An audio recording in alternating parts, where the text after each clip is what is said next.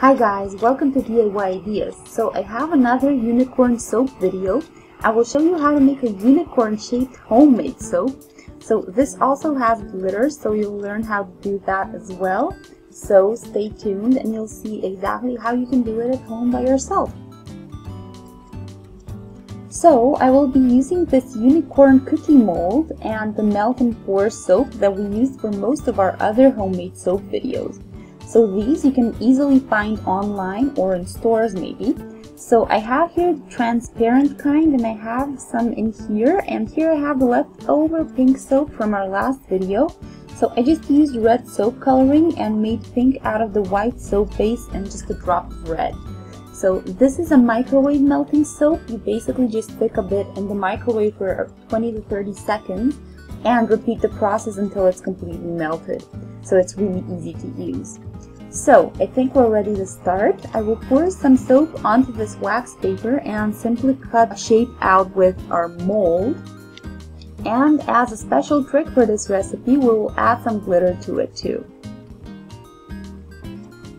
Here are the both components, so let's start with the pink one. Just pour it on top. It will quickly solidify so it won't spill all over too.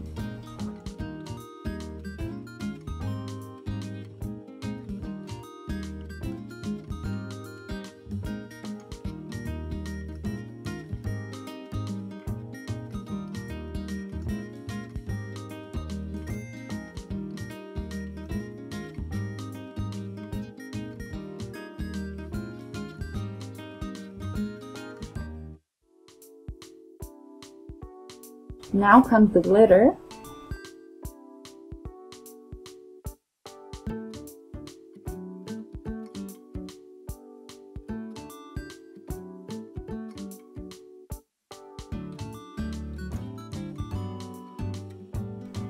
And I let it harden a bit so that the top is hard and then we'll get going.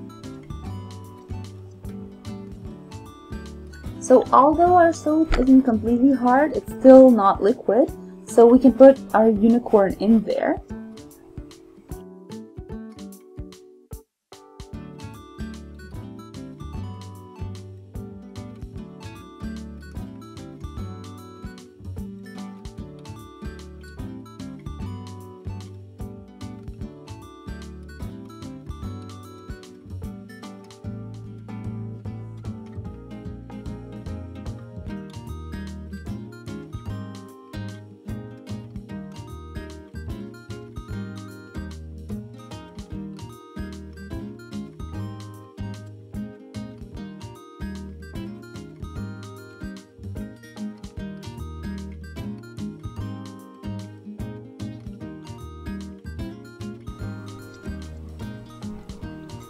Let's push it out.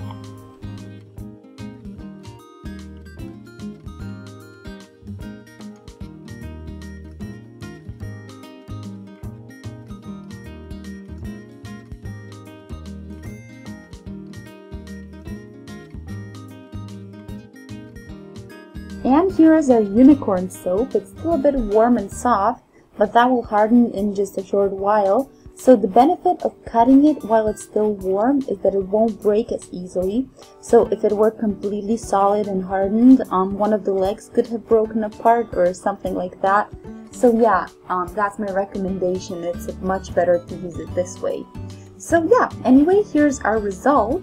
Um, the cool thing about it, we still have some glitter coming off of it, but that's because we, it didn't solidify yet, so that will also go away in a while.